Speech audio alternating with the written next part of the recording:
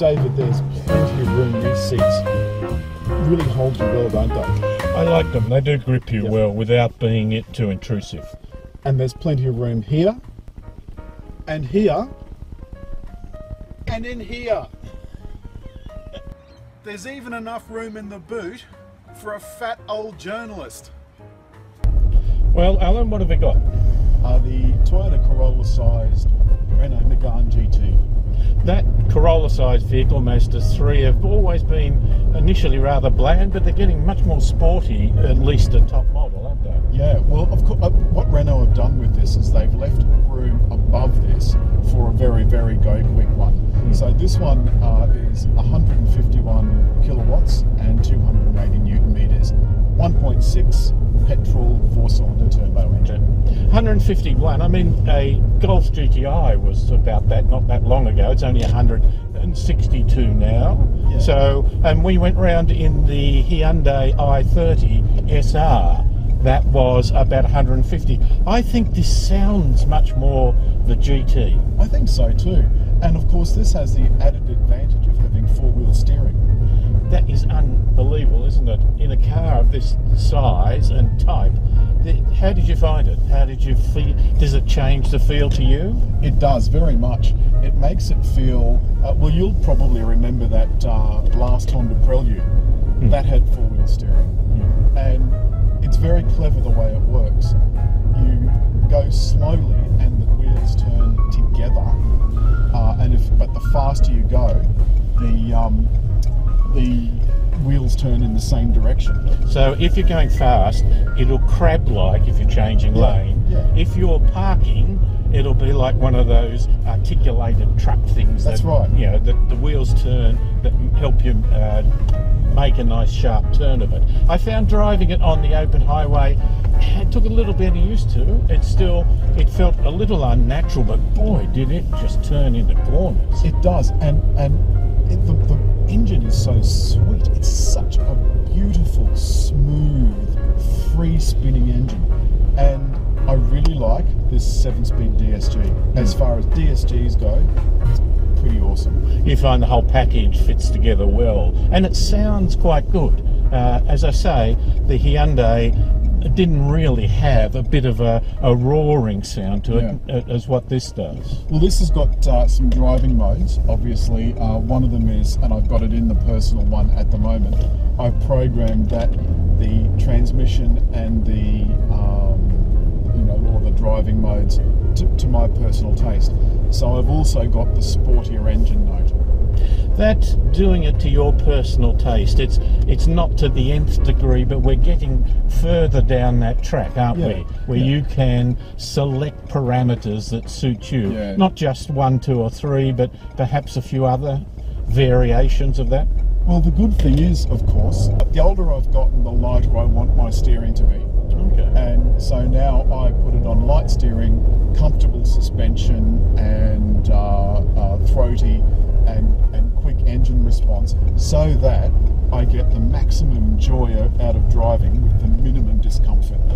Uh, and I only put it on hard suspension and hard steering and so forth when I, um, uh, you know, want to have a, an ex- a spirited drive, say in the national park. Or, With a very twisty road. yeah, know. or on a racetrack or something. Not that we get to do that very often. Uh, the other thing, of course, is that this is not four-wheel drive, so there is a bit of torque steer when you really stick the boot in. Yeah, that uh, getting the power to the ground. There's, there's, there's no, I have no trouble with it, but you know, it is a little bit annoying. Tell you what, we will drive. This has got automated parking.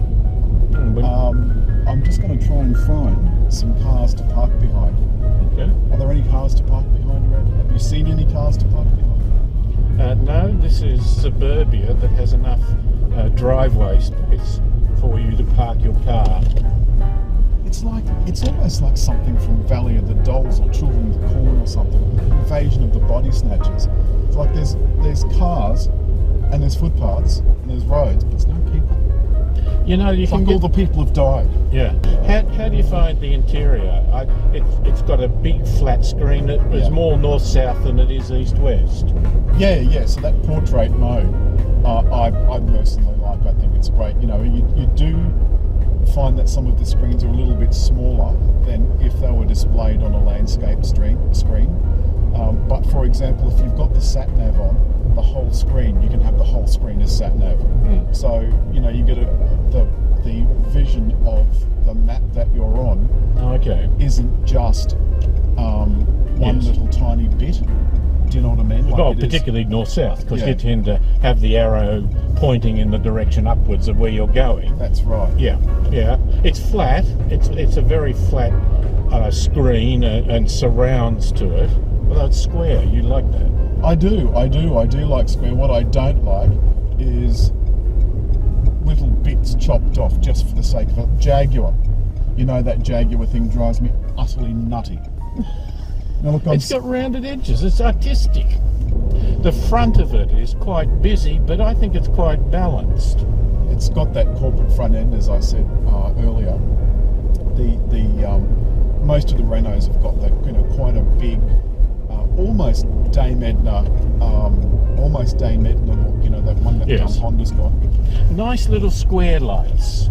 That, that we've made lights. We've had them big. Now we've had them little and round. Now they're getting square to them.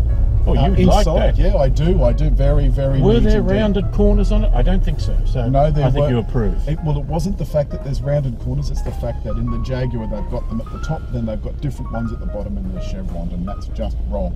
They sh- that designer should have been flogged. Alan, you like the rear, the tail of it. I think it looks really smart. I love the way the the LEDs carve a, a wave through the back. You know, it's not just boring. You know how lights used to be boring, dull Yeah. as hmm. ditch water. It'd be one light there, you know, a red light, an orange light, a white light, and that was it. Yes. And now they're, they're carving beautiful shapes through it just because they can.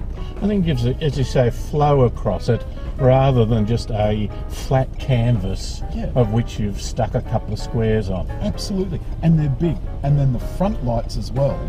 The front lights have that really big daytime running light, the LED daytime running light. Now, remember once upon a time, this is not a new thing. Volvo was doing daytime running lights 40 years ago. Yes. You might remember, remember you turn the, the car on Yep. and the parking lights would come on and stay on. And the research clearly shows that it reduces accidents. Yeah. And you say, why? Well, I don't know. It's just that when lights are on, you notice it even in the daylight. Well, that's right. Well, I mean, just driving around here just now, it's quite a, quite a bright sunny afternoon, and yet, you know, I can see this uh, this Toyota coming towards me with the, the vertical lights. Hmm. Um, uh, you know, it really makes even the cars that have got their parking lights on. Someone once opposed it because they claim that by having your lights on, you'll use a little bit more power, therefore you'll lose a little bit more petrol, and they wanted to work out whether it was worthwhile. And it seems to me that saying, and we turn left soon up here, that saying that I, you know, if everyone has to cost a sip of petrol, that may save one person being a quadriplegic. Yeah, I mean, I, I just um, that just seems like an extraordinary thing for someone to say that, you know, a, a small amount of power might save a life, but is it worth it? God, some people are really strange. No, that, interesting stuff.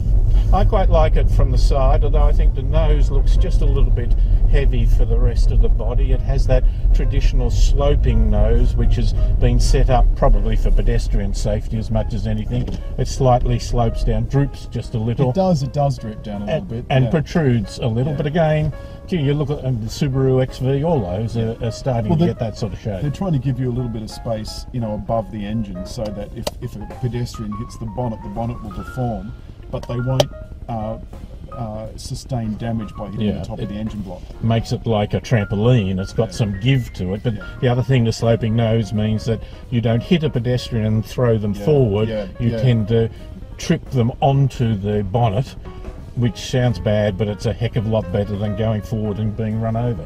Oh, now, I'll tell you what I do want to discuss. There's no Apple CarPlay and Android Auto in this. Oh, okay, yeah.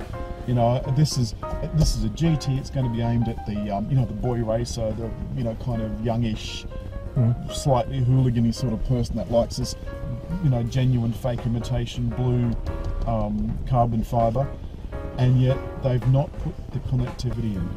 Yeah, technology, you know, they like that sort of stuff. Mm. And I just think I just want to be able to get into a car and have some common dials that I don't have to read a 500 page manual Yeah. to try and operate. Well, do you know it, the the the controls on this radio are virtual, so they've they've got uh, you know buttons in the main screen, and then they've got some fixed electronic buttons down the left hand side.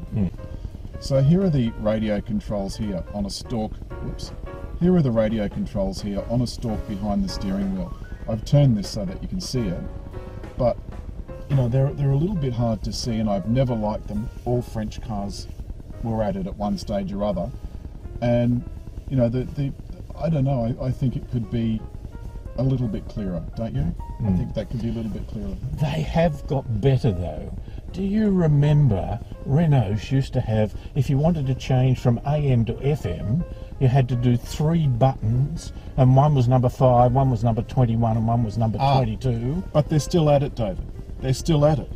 Here's the cruise control and speed limiter down here on the dash. So it's actually split between these buttons on the steering wheel, uh, these buttons on the console.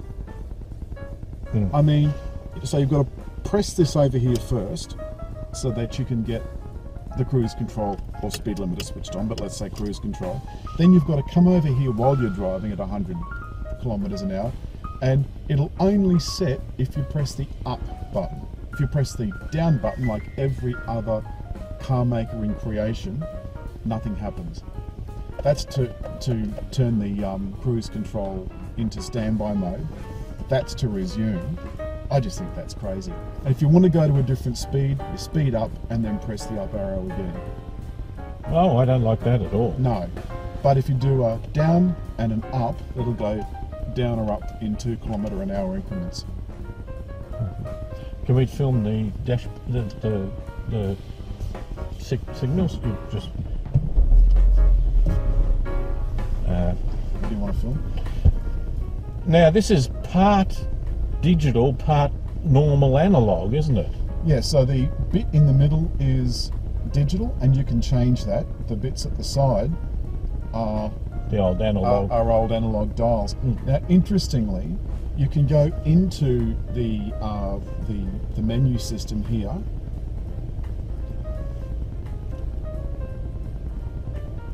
And you can select different uh, uh, different dot. Now, see, it's doing it again.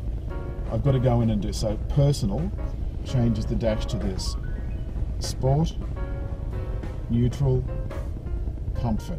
Now, unfortunately, only the sport and personal have a digital speedo. Yeah, I love a digital speedo. It just it's, clarity. It seems to do it very, very simply. I agree. The other thing that I don't like about this is that if you go in one way and call up a screen, after two seconds it dumps you out. Yeah. So, if I want to go and, and and do what you're suggesting, I had to go into no. Had to go into home.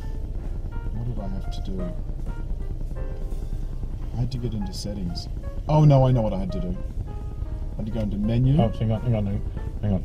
Try again. Okay, go. So if we want to go into that, into this, um, into this mode, so that it doesn't turn off again. If I just don't do anything for a few seconds, that goes back to what it was before. If you don't want that to happen, then you have to go into menu, and that's also changed, you know, from personal to. Uh, you have to go into system, and then you have to go and you know change things that you want to change. So, you know, um, vehicle, for example, you know, you can, you can go and look at tyre pressures and so on, and then it'll stay there as long as you like. But if you go in through another way, Yeah. it dumps you out after two seconds. That's right. So that's the that's the same menu as this button down here, the RS Sport button.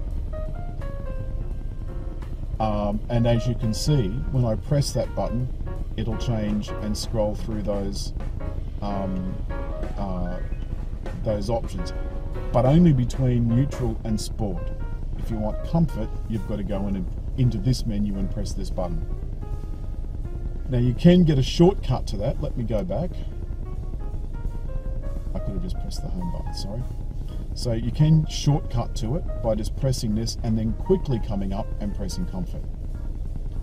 And then if you don't do anything in a second, that'll go back to uh, whatever screen you had it on. You didn't touch anything. I didn't touch anything. No. So then, if I want to go to my preferred thing that I've uh, my preferred setting that I've personalised for myself, Perso is short for personalised. I don't know why they just didn't put custom or something like that, but there you go. Uh, that just about wraps it up. Oh, uh, what do you think of the um, what do you think of the seats and so forth? Oh, I love the seats. Yeah. I think the seats are they look good. You know the colour inserts and that, and they grip you well. They, Incredibly supportive. Hmm. I like the blue Alcantara. Uh, it, it sort of matches the the indigo of this lighting that I've selected, which by the way is customizable, and in a way matches the genuine fake artificial simulated blue carbon fiber inserts. And I'm, I, I must admit, I'm fond of a genuine fake artificial simulated uh, uh, fitting. I think that looks absolutely first class. And down here, of course, is that down here, of course, is that Renault Sport badge that you want to see. yes, I, I once bought a watch that was a genuine imitation. Did you? Did it Mm. last? No, No, no.